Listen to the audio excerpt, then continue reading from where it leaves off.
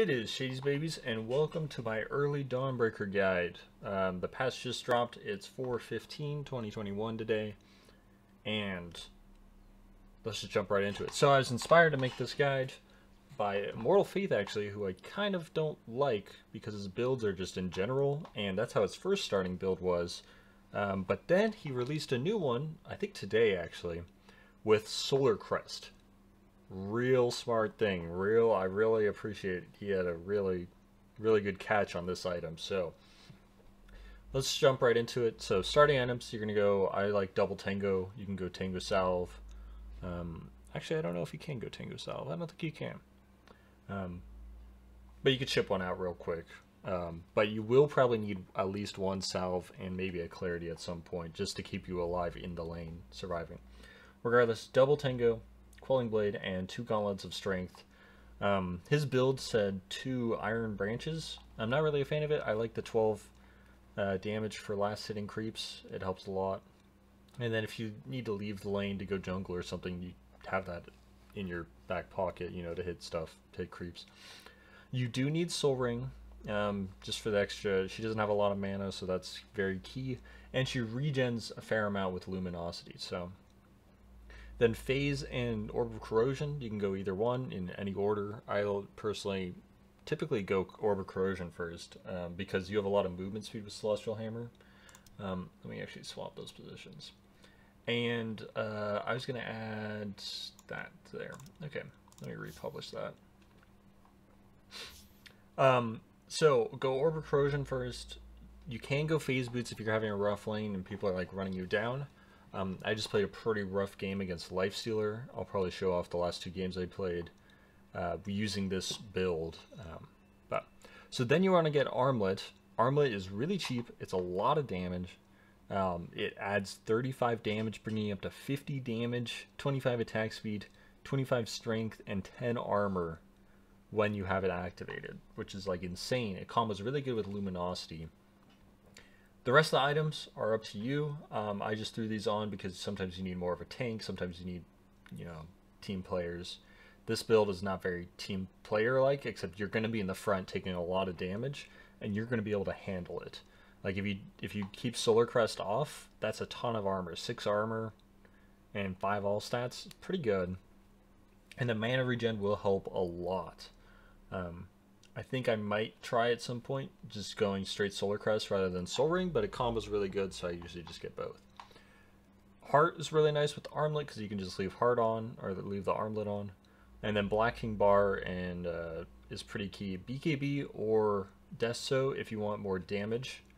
Um, but there's a really nice combo with Luminosity and Starbreaker that I'll get into. Um, so more damage is probably what you'll prefer not a lot of items in this that you need and there's not really a big need for versatility. This is pretty straight up pretty strong build.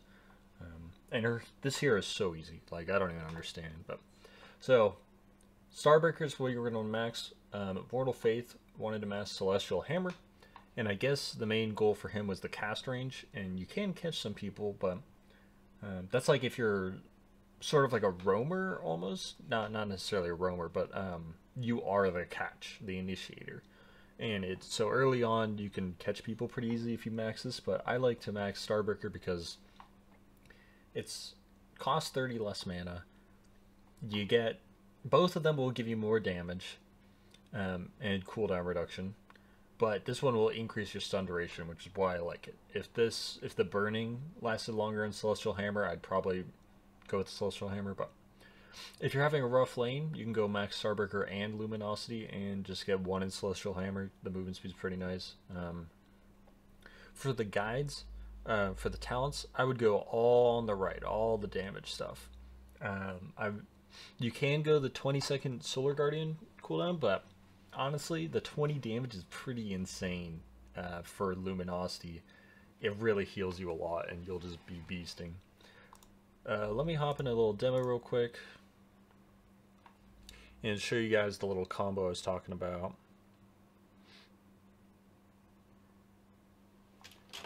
so with her, if I, max, with her uh, luminosity, You can combo with Starbreaker by getting one stack first. The light. See with one stack, and let me get a dummy target out here. I've waited millennia to stretch my legs. Look at those stats on the dummy target.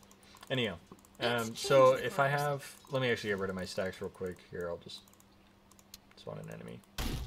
I'll never tire. Okay, so if I just go normally, if I just do a normal star break, like one, three, and then a right click, I've been waiting.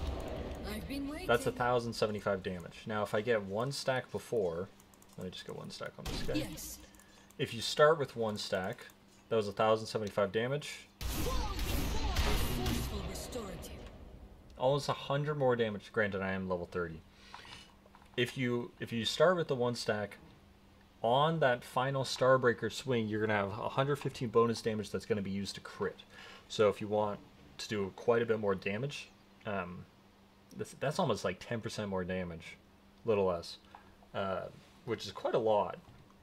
Then start with one thing before you get into The Starbreaker. hammer wants to go Um, this way. And if you have Orb of Corrosion, and uh, Primitive, here, let me level up I welcome it all enemy the to max. Let me get this guy. I'm ready for So if you're if you're setting up for a combo, what is this guy doing?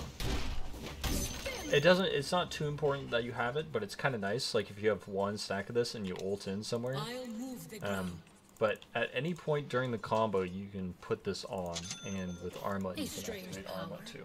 One I will put um, to good use. So if I just start comboing, you can see there I just activated it in the middle. I respect um, trees as obstacles for their well-being. So that's a pretty good thing.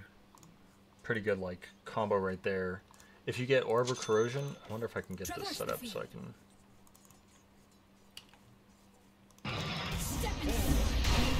Look how slow he is. 238. 238 movement speed from. Let me see what his base one. The Solar Crest slows by a lot. 10%. Base is 310. It's really hard to move out of the way, especially when you're getting a am combo. Um, so that's what I would get with those. Phase boots is pretty nice. Initially, Immortal Faith. One thing I was that didn't make sense to me was Immortal Faith took power treads was his main thing, and it doesn't make any sense because sure you'll get the luminosity stack quicker, but it's not going to do more damage, and the more damage you do, the more healing you get. So, if you have phase boots, it's pretty good. Your middle tower Um, is under attack. I would get a hard BKB. This is a pretty good build right here. remains of a wretched You can replace the Orb of Corrosion with Basher if they have like BKBs, or Deso if you want to just style and supports. Um. If you haven't played Dawnbreaker, your combo is you throw this out, pull back, and then you start hitting them Good day to fight. because this slows. So that's just a quick thing, but you hour, see anything, you probably know. You can actually, um, sky moves behind us. Enemies if you combo that here, let me see if I can. 130 movement speed if you get the full. All the slows going so it's pretty hard to dodge her but um, that's pretty much all I have for the build. Uh, I'll drop a link in the description. I just played two games with it to and there's a bunch of L's on my profile so I'm just gonna handle the embarrassment. Um, so here's a game the first game I did when I tried it and um, almost had the most damage. The Slark was pretty competent. We had a Slark mid. Um, but it worked out pretty good. And um, the heal is pretty good. I have almost the same amount of healing as of Vlad's. So the healing's really nice. The other team didn't have any healing. And I had the most farm, actually. I had the most kill participation and the most last hits. Well, actually, Luna had the most last hits, but that's expected. Um, but I had the most net worth. Um, and on my other game that I just played not too long ago, I wanted to make sure it actually worked, so I played another one. Um, I had I actually got Death at the end, but I didn't really get to use it. I had the most damage by far, 45k damage. Um, Spectre had 42, and that's like a Spectre. Spectre's supposed to have insane amounts of damage, so that's with 9k damage uh, to buildings and 6k healing for the team also. So your combos are really good. Um, really hope you guys like this build. that's all I got for you guys. So uh, if you like it, you can subscribe to it in the uh, description, and I'm probably going to be updating it um, quite a bit as she like changes and stuff. Um, if you want some more hero guides, I can drop one, drop a name in the comment for a hero, and I'll get one. I have some pretty old, outdated Each ones that I might day to have to. Uh, yeah, like look at that, fifty-five point eight. This is so old. Look, even Courier's still on it. But anyhow, enough ranting. Thanks for watching. Have a good day.